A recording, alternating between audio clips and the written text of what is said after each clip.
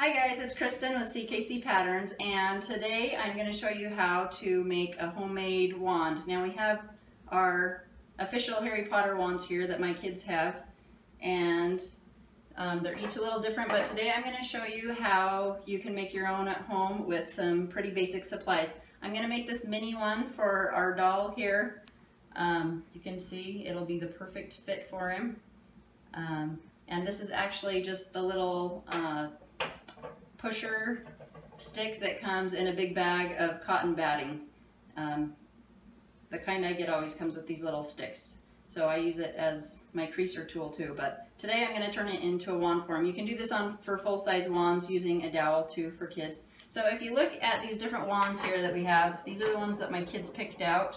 Um, so if you look at the bottom where the handle is, some of them have like different designs. Um, there's lots of different ways you can do it. Some even have the designs going all the way up.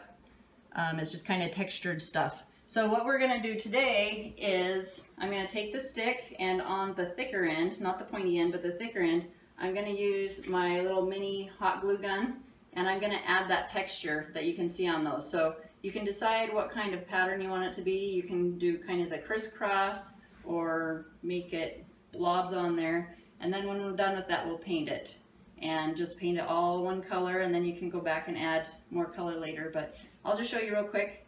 Um, this is all heated and ready to go. So I am going to just start about, I guess he has little hands, my doll, so I won't make his handle quite so big as I would for a kid. And I'm just going to start here and I'm just going to spin it around while I do that. So I think, I didn't really plan this ahead, but I think I'm going to put kind of a little blob around at the top and the bottom. And I'm trying not to turn it too fast because the glue needs to kind of harden before I spin, otherwise it'll make one big, big blob at the bottom. And then to connect those, I think I'm going to make kind of a little swirly design from one side to the other. And again, I'm trying to go kind of slow to make sure those blobs don't fall off. I know one of the ones I was looking at when our family went to the Wizarding World of Harry Potter at Universal Studios, one of the ones I liked a lot had kind of a grapevine leaf wrapped around it. It was pretty cool looking. So I guess that's kind of the idea I'm going with here.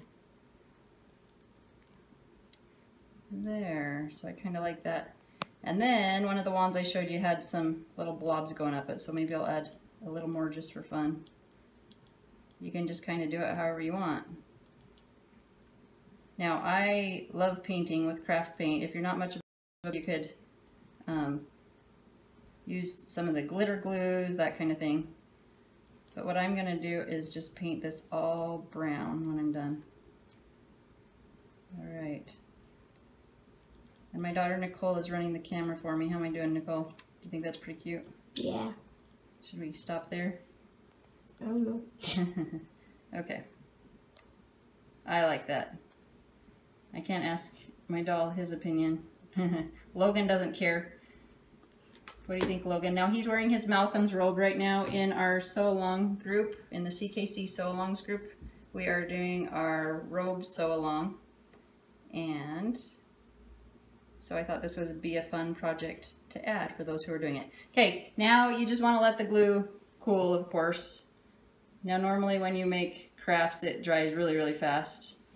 Or cools off, I guess. But since those are pretty big, big blobs, it may take a while. So I'll let that sit there. Maybe while we do that, Nicole can show you some of these wands again. See, so some are really textured. You could even like carve into one if you wanted. If you are doing it a kid size one, you could get a dowel and kind of cut chunks into it more. This is a fairly basic one that one of my kids chose. And oh, here's this is the one with kind of grapevine. Is that yours, Nicole? Mm-hmm. Yeah, that's a pretty one. And then this one even has kind of holes on it. Anyway, they they each have an explanation behind them.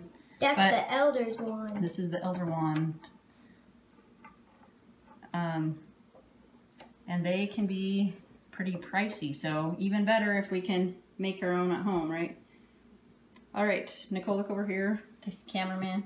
Okay, and what I like about, I'm, we're still letting this cool off a little bit. I don't want to paint it too soon. What I love about Malcolm's robe is that I did do the, the loop and buttons the same way they had on the official one. So it loops on, I'm trying to hold and do this at the same time. It does loop on there on one side and then it has buttons on the other. Um, and then I like his hood here. It has the slouchy hood with, the, you can either do the pointed hood in back or the just a regular one. Um, He's going to tip over any second now. And I also love the sleeves. It has um, the drapey sleeves. All right, checker glue. It's still kind of tacky. Wow, now my thumb stuck to it. Okay. All right, now I think while that end dries, I'm going to go ahead and start painting. Actually, I'm going to unplug my glue. All right. Now this part is pretty self-explanatory too, of course, but I just wanted to show you how cool it ends up. So this is just acrylic craft paint, craft paint, and you can just kind of start wherever and go around. I was kind of laughing when I was planning this out because I took tole painting classes when I was young and my teacher was always really picky about um, you paint the sides before you paint the front or the back. And I was kind of looking at this, trying to decide if like the ends were the sides or if the whole thing is the side. I don't know. So if my teacher's watching, I'm doing it the way I like best.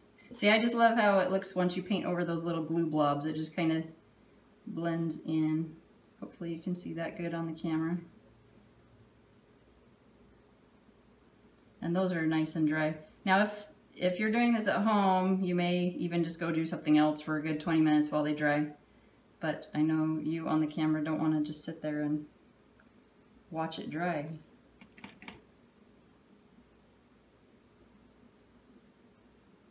So I think this would be fun even for like a kid's birthday party or I don't know, Halloween party, that kind of thing, to just get a bunch of those dowels from a craft store in whatever size you want and um, you can sand them down or just add glue, paint, whatever you want. And they turn out cute. Now some of those have other colors on them, like oranges and blacks, that you could come back and do an extra layer later.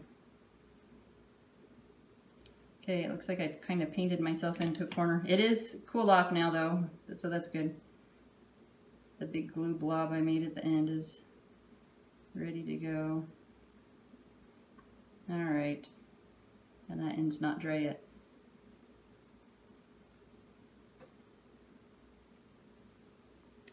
I'm to do it.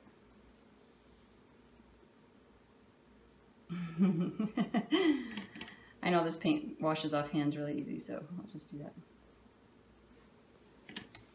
I like how it's looking.